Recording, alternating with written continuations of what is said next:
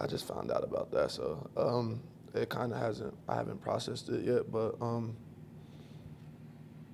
uh, it hurts because he was, out of all of us, he was a different one. He had God-given speed, so um, it's definitely tough. So yeah, you can take the top off the defense. Obviously, how do you kind of re- can't replace that? Yeah. How do you navigate without him? Yeah, there. Uh, there's definitely no replacing KJ. Um, just replace it by making plays, more balls for other people, and when the ball comes your way, just make a play. It might be not be, might not be in the way that he would do it, but there's other ways to make big plays. Leadership wise, how have you kind of even before this injury, how have you kind of taken on more of that role this year in that? In that? Um, I kind of try to just let my play do the talking, the way I carry myself, and uh, just keeping guys positive. I think that's just the biggest thing out there. Everybody has the talent to be here and be productive here. Just sometimes people get down on themselves, and I just try to make sure everybody's having fun out there and they're staying positive no matter what's going on. Tim, a lot of the talk, you're, you're three and oh, you dominated your opponents, but they're a combined oh and 9 Now the schedule toughens up. Do you guys look at it like, all right, let's see what we got now? Uh, nah, because the the most important thing is that we focus on ourselves. Um, uh, we didn't pick our schedule, so we just, we're just going out there and getting dubs. And we got the Ravens this week, and we got to go out there and get another dub. You guys dealt with injuries last year. It seemed devastating with Courtland and Von. When you have Teddy at quarterback, we see his leadership. How much is that helping the stability and consistency of that position right now? Um, it's big. Uh, um, it's huge. He keeps us all settled and playing in the moment, not looking at the past, not looking at the future. He's just keeping us in the moment. So yeah. Tim, you've been good on those deep passes. I don't think you have a drop here over the last couple seasons. Do things slow down for you in that moment when the ball's kind of coming in on those deep passes?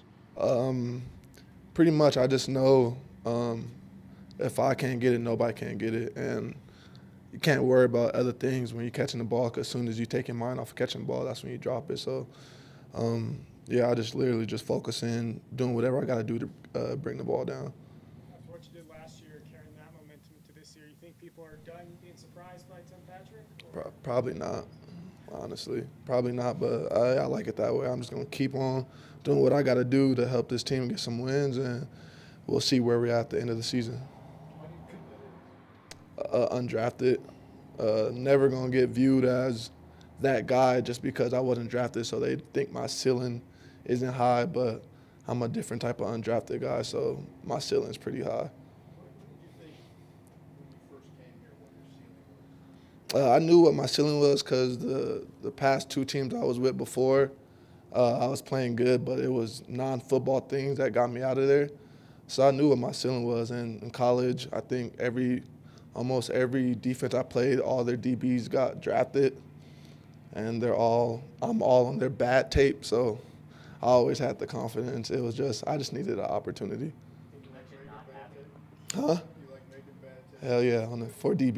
you mentioned not having KJ's speed out there Mhm. and how that hurts, but how difficult can it be on a defense having you and Courtland on each side with your weak sides? Um, it's difficult because even if we're covered, we're not covered. So like you could play the perfect defense and we'll go out there and make an amazing catch and the coach can't tell you, oh, you got to do this better. You was in the perfect coverage. You just, we wanted the ball more and we got it. So it's uh, it's deflating for defenses when you make plays like that. The, the, the play you made down on the, the sideline yesterday, where it kind of reached over to the defender and grabbed it, do you have to have like a certain type of mentality to say it's, it's my ball and no one's ball on that type of play? Yeah, um, definitely. And like I said, you just have to focus on catching the ball. Don't worry about if you hit the ground, if if it's gonna hurt. Um, the sun, because the sun was there. and you just you gotta do anything possible to catch the ball and worry about the other stuff after you make the catch. Could you take us through that play where you kind of grabbed the ball off of 37's helmet there? You said you have given guys bad tape.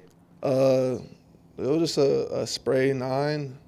Uh, he hit me in the face, so I really couldn't see. At first, I had to fix my helmet.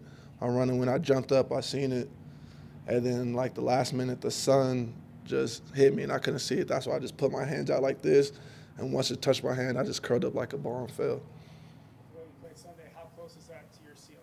Or I how much more do you have to go to get to your ceiling? Um, honestly, I watched the tape last night. I didn't think I played that well. I just made big catches that you guys like, so it seemed like I played well.